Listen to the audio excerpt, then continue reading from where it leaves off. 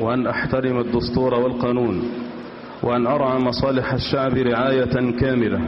وأن أحافظ على استقلال الوطن ووحدة وسلامة أراضيه السادة نواب الشعب عن محافظة بورسعيد